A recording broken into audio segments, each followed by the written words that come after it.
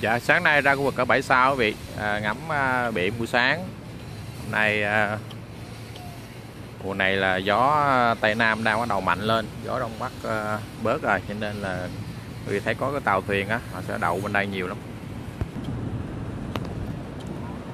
Tàu thuyền nó di chuyển theo cái mùa gió.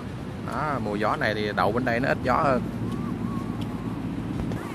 Dạ, ở Vũng Tàu thì à, muốn xem ba trực thăng bay rất là dễ, ngày nào cũng có bay ra bay vào. Bữa nay chắc có bay ờ, ba tập luyện hay sao?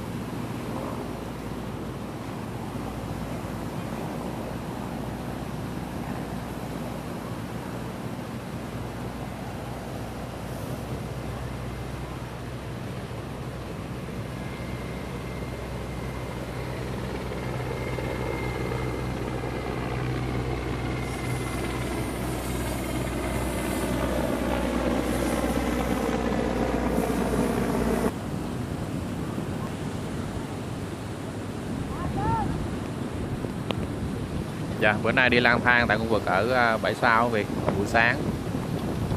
À, gió rất là mát.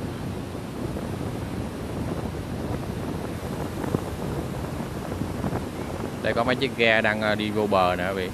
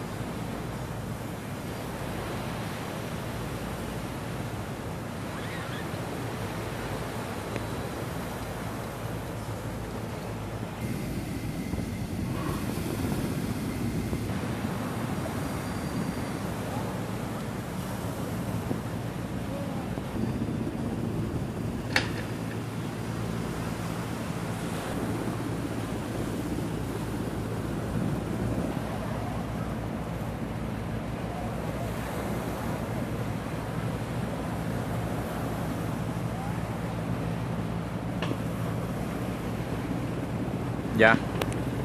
Xin cảm ơn quý vị các bạn rất là nhiều đã cùng đi dạo à, uh, biển Vũng Tàu sáng nay. Hẹn gặp lại quý vị các bạn à, trong những video tiếp theo. Cảm ơn rất là nhiều.